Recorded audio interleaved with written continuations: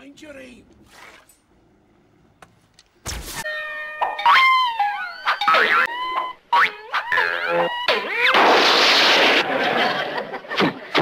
making it awful tough to be good neighbors.